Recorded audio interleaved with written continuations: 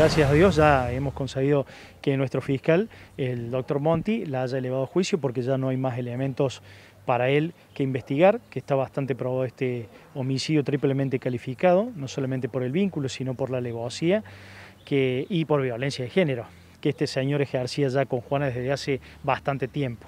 Eh, digo, se da una situación particular, hoy ya eh, salen todos los medios, eh, en relación a cómo ocurrieron los hechos y cómo termina descubriéndose dónde estaba el cuerpo de Juana.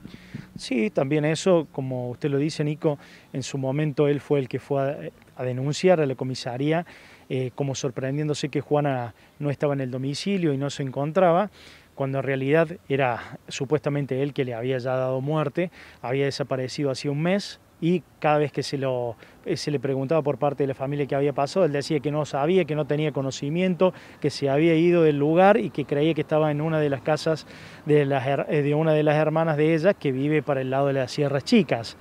Eh, ante esa circunstancia, el Valle hace la denuncia como desconociendo qué había pasado y luego él mismo encuentra el cuerpo en una zona de acá de la parte de Jesús María, la vera de la Ruta 9, y, dice y llama a unos vecinos del lugar que había encontrado esto.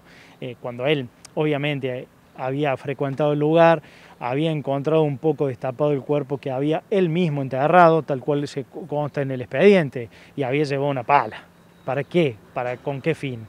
Siempre eh, después se logró descubrir que él tuvo el certificado de incapacidad que tenía Juana, eh, declarado ya.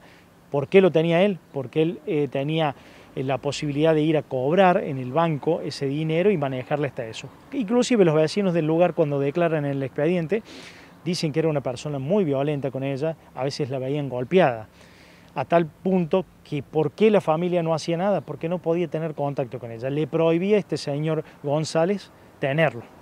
Eh, dicen que él pretendía el certificado de función para volver a casarse, ¿no? Así es, eso lo pretendía.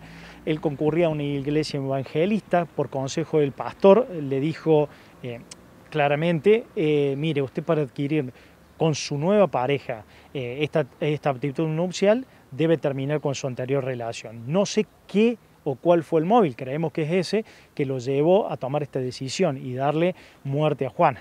Este hombre es detenido un mes después del hallazgo del cuerpo. y ¿Costó ligar la aparición del cuerpo con el proceder del propio imputado? Lo venía investigando la Fiscalía, que hizo un excelente trabajo. Sí, en principio se le creía, pero ya después tomando las testimoniales eh, para la, de la gente del lugar, el testigo, como le vuelvo a repetir, eh, dijeron que era una persona violenta. Ante ello, el fiscal tomó y determinó a ciertos eh, puntos de la investigación que llevaron a la detención porque es raro que es muy raro que una persona fuera a encontrar el cuerpo cuando la policía y todos estaban ah, totalmente abocados a este caso.